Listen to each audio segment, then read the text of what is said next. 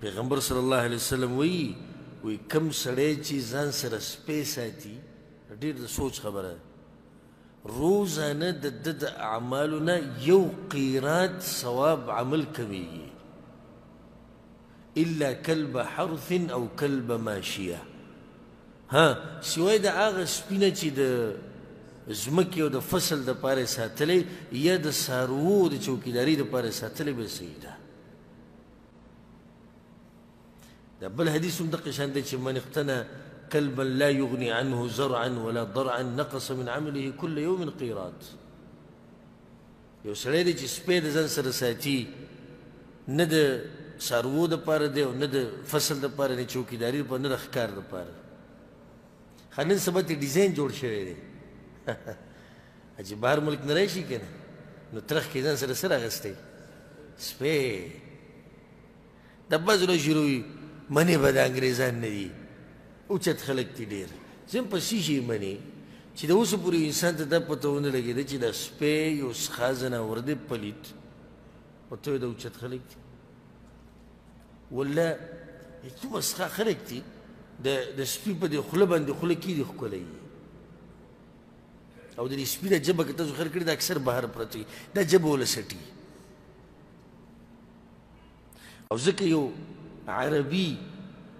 د یو انګریزي سره واده کړی او مسلمانه کړې وه بیا ورسره واده وکړو هغې کور ته سپی راوړو ځان سره واده په شپه چې دا غریب ورننوتو د خوشحاله او جکټ کې به ښځه چې دی ورنوته ښځه هم ناسته د خوا کې زه سپی ناستې جبه یې راویستې داسې شی لر کې دا ګن وي کټ ته دې راپسې راخېجولی دی خو نه واده ته یې سپو سره کوي او دی خو د سپو سره وخت شي خیر هغه وی چې دی به د کټ نه نه کوزي موته به خپل ګپ شپ لګو خپل خبرې هر څه به کو خو دی به د سم نیکه دی به دلته نه شي اخر کې به سوجو دی هلک ورته وویل یا به ما غوره کوي یا به د سپی غوره کوي خو سپی دله په کور کې نه منم هغې ورته به سپی مې غوره کړی د دې انګریزانو دومره محبت چې دی سپو سره او دغه یو بل وجه ده وجه دا ده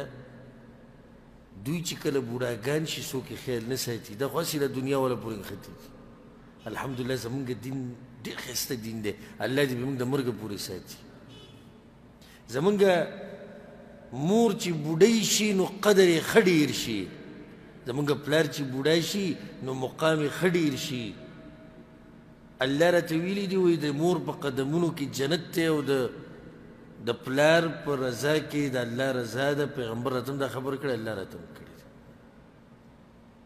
او دا وی د جنت دروازې لري د دوی خیال کوي خد هغه ته د سپو ضرورت دی هغه دا ده چې کله د زنانه د جنۍ د غوی په ملکونو کې د سوال سو پنځل سو کالو شي د دیار لسو په دی باندې د الکانو یو حل جوړ شي نو کله دا په یونیورسټۍ کې د هلکانو سره په ملګرتیا کې کله په کلب کې ناسته یې کله کور ته ملګري راځي کله په ګاډو کې کله یو څه کې چې کله دا جنۍ پالتو شي او د نور د جنسي تعلقاتو نه وځي نو دین یو پالتو پورزه جوړه شي په معاشره کې نو هیڅوک یې بیا خیال نه ساتي نو بیا د ځان له څه پیدا کړي یو سپی پیدا کړي بس هغه سپی به دي هر سي سپی به هر سي نه الله دې مونږ ساتي دي حالاتو مونږ الحمدلله